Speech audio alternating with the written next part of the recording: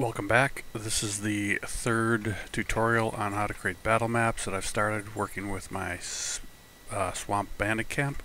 Um, basically I uh, added just a few more things. I added a fallen log here and uh, a rock, uh, as you can see, sort of buried in the water again using uh, layer masks. So now I want to add, I'm actually going to add a little bit of a structure. Um, so here I've got all these rooftops. So here is actually, yeah, let's add this. It's, it's got a cool feature there. Um, again, we want this above most of the other things. Still not high enough.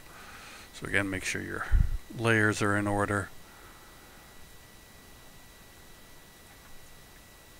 Um, I'm going to resize him a bit because I don't want to back that kid because again, going back to my scale, you know, it's about a 10 foot hut. You know, it's not too big of a hut. We'll make it a little bit wider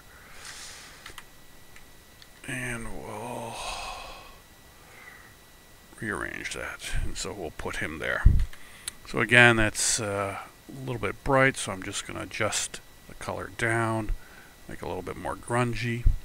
Um, then some other cool things if you do searches for Dundjinni uh, especially roofs you'll find some of these um, which are fairly cool. You just grab them um, go like this and just resize it.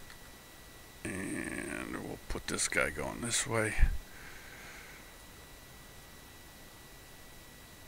Get him lined up with that and all of a sudden I've got a hole in my roof which is sort of cool. Um, and it looks realistic. So again just grunging things up. Um, so again this area seems a little plain seems a little plain there. So what we're going to now do is start going in and I want to be above my water uh, but as you can see I've got lots of layers um, so I'll just put myself above the grass uh, and I'm going to go back to here and go to floral and start adding some things. And I've got again these I got from Dundjinni Google. So I'm going to add a fern or two. Um, so I actually want him to be above uh, those layers. Uh, he's still not above, so probably actually what I got to do is actually move him down. There we go. So there's my fern. So again, as you get more into this, you really should be labeling over there. Um, now again, he doesn't look like he's above it, so I'm going to put a little bit of a drop shadow there. Again, just uh, right there. Okay, so again, when we go down, now that's a pretty big fern. That's, you know, five foot area. I mean, ferns do get pretty big, but I don't want them that big.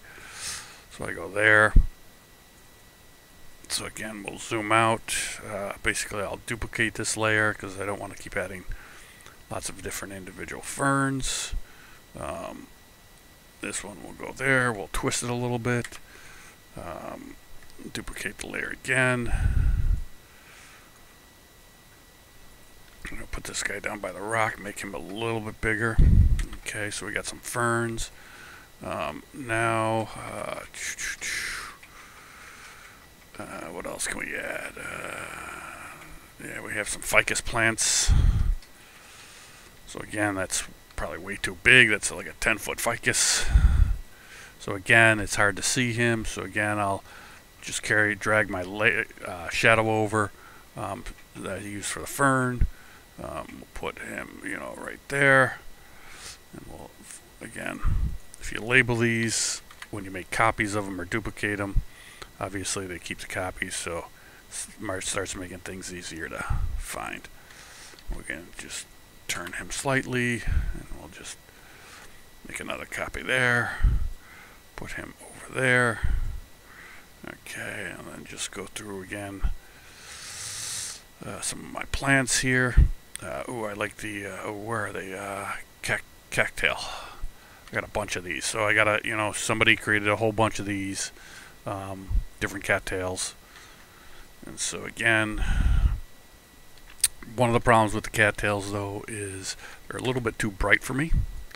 Um, so usually again I like to darken those up. Okay, and then also I'll probably throw the same layer settings that I put on there. So again, throw these guys out in the water. Cat tail.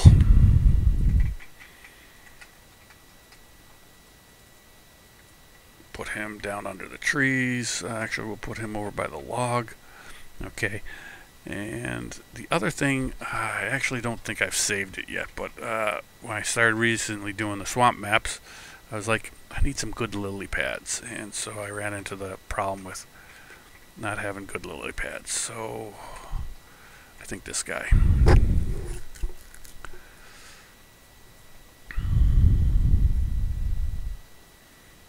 As you can see, these images get pretty big and this is taking a bit to load, which is again why you want to label your la layers and such.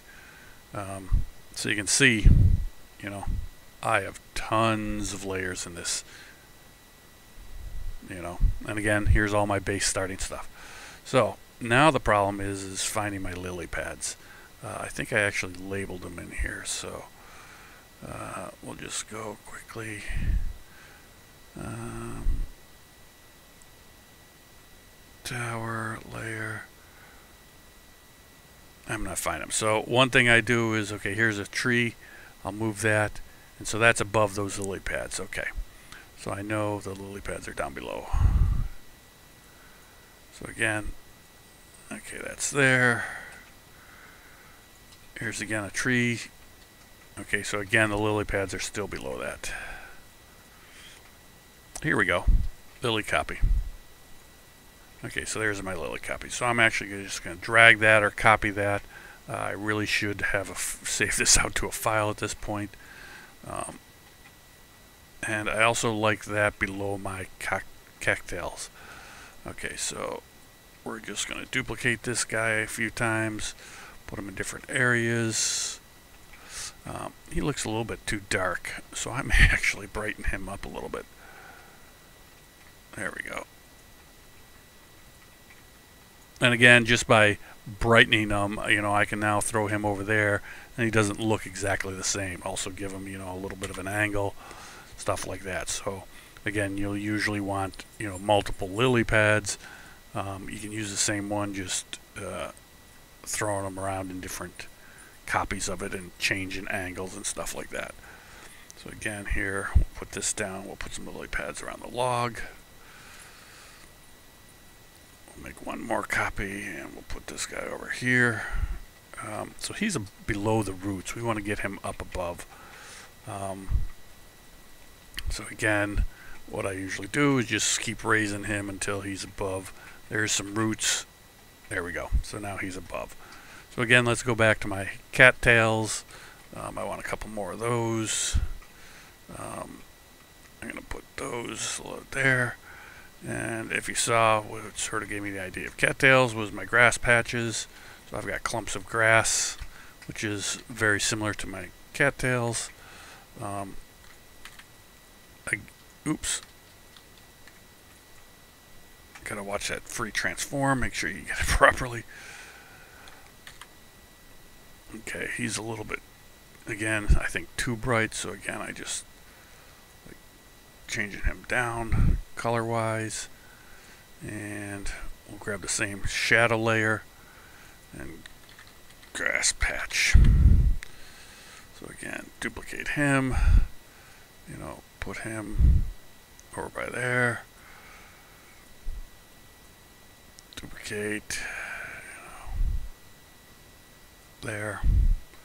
And that's it. Uh, there's probably more stuff I could add. Um, a little bit more. I'm not 100% happy with the spring, so I may change that a little bit. Uh, but that's pretty much how I generate my battle maps. And this took me, what, about an hour and a half or so uh, total, so not too long.